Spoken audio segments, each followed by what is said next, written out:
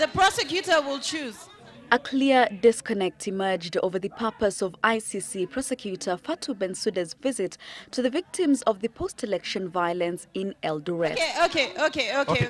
And the victims' testimonies, while Bensouda insisted that she had only traveled to the 2007-2008 post-election violence hotspots to get a first-hand account of their plight and explain the ongoing ICC process in which four Kenyans face crimes against humanity charges at The Hague. The victims demanded that she conducts fresh investigations into the cases, saying they have so far been left out of the evidence gathering process.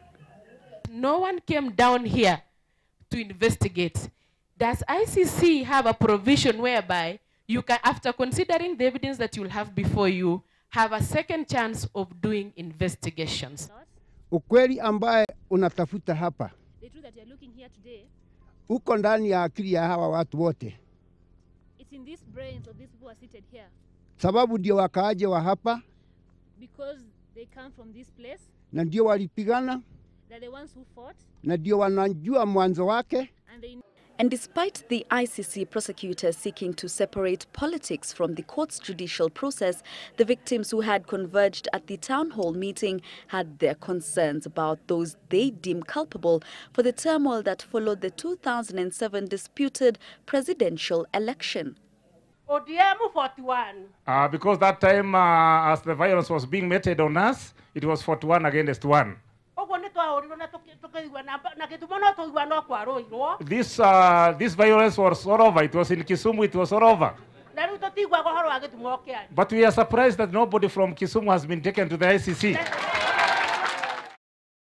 Emotions at the Kiambaa PAG church all too evident.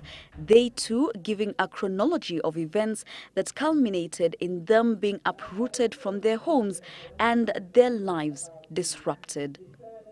Sasa vile walipeleka watu we, au watu hawakuwa na makosa, wenye walikuwa na makosa ni wenye, mwenye alitangaza results. Alita, alitangaza mtu wenye ako ameshinda, kwa vile aliulizwa nani, nani alishinda, sio alikuwa anaitwa Kivitu, akaulizwa nani alishinda, akasema sijui. so Sasa vile baadaye akakimbia, sijui alienda ngorofa, akaenda akatangaza Kibaki ameshinda, na akaapishwa usiku. Yes, madam, kweli usiku inaonyesha mtu alikuwa ameshinda kweli. Kitambo vita itoke kulikuwa na picha fulani kubwa sana ambao tuliambiwa kama sio huyu there was a very big, big picture that they saw. If it's not that person, sisi tutajaa kwa pickup. they'll be full at the pickup.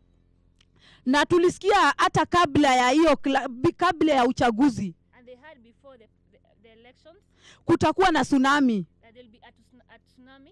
na tukauliza tsunami ni nini, And they asked, what is tsunami?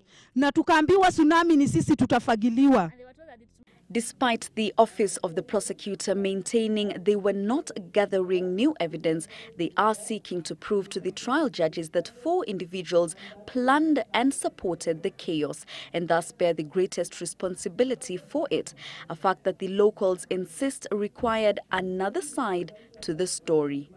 It was all over the country. It was in Kisumu, it was in Nairobi, it was in Nakuru, it was in Eldoret, it was in Lodwar, it was all over. So narrowing it to, to Eldoret, Madam, we feel that maybe there is something wrong. We do not go after each and everybody. It's not possible. We cannot do that. So what we do, we look for those who we feel, due to the evidence we have, bear the greatest responsibility for those crimes. The ICC judges rejected several challenges lodged by the government on the admissibility of the Kenyan cases, despite failing to try the cases locally, and thus There will no longer be impunity for these crimes. As a country, you do it. If you don't do it, ICC does it. The message the ICC prosecutor Fatou Bensouda sought to put across to victims in Eldoret town. Bensouda leaves the country tonight after her week-long visit. The office of the prosecutor is to submit its final evidence to the trial chamber judges by January the 9th next year. Jacquie Maribe, Citizen Weekend.